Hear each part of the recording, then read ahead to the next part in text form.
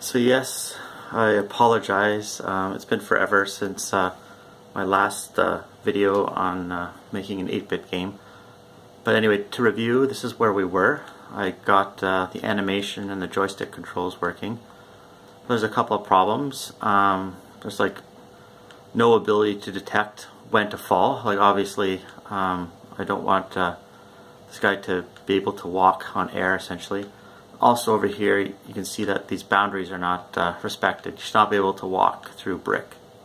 So on today's episode we're going to uh, fix those issues.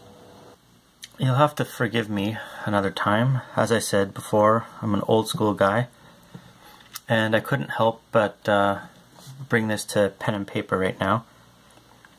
So anyway, um, this is basically what my character sprite looks like and each sprite is defined by an X and Y parameter.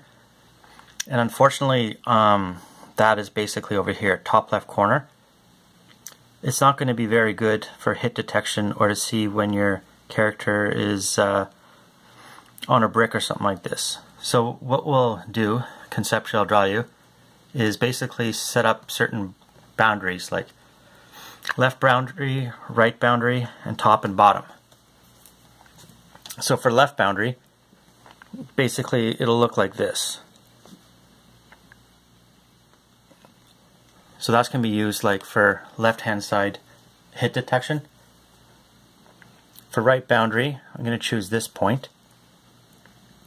I was tempted to choose one one pixel to the right, but because this guy's not perfectly uh, symmetrical, um, we benefit from doing it here. And then for the bottom, boundary. We'll use the bottom row. Sorry about that, not too straight. And then for the top one, top row is sufficient here. So anyway, as far as um, falling goes, I'm going to draw your attention to the where these things intersect. So where the bottom boundary and left boundary uh, intersect, we'll call that um, the left heel and then where the right hand boundary and bottom, let's call that uh, right toe or even right heel. Anyway, left foot, right foot is maybe the way to do it. So what you would essentially do is you can, if you had a subroutine that decides whether or not a particular point uh, lies within a brick, you could do it first with the left foot and say, is the left foot in a brick? Um, if it is, then you're not falling and then you say, is the right foot in a brick? If it too is not in a brick, um, then you would it'd be a situation where you're falling. Okay, so now we'll see uh, if our code is working. So the first thing we'll do is to see if um, fall is respected. So right now I'm going left and right. Okay, so there should be a small little fall off of this little ledge. And yes, now the real test now is there's this big, big drop here. So what's going to happen now? And you see we fell all the way down that. So that's good.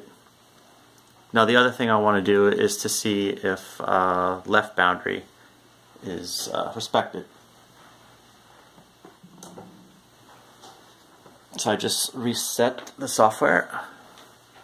I'm going to go down this little edge again and now um, previously I was able to walk right into this brick. And now you can see that um, I'm not allowed to go in. And unfortunately I there's no really there's no right boundary. Oh perhaps there is. Watch this. I will basically fall down and I'll keep to the right and see whether or not I penetrate that brick wall. So yeah you can see I'm not going through the brick on the right either. So this is successful. Um, in the next episode spoiler alert, we'll do um, some jumping. That'll be the next objective.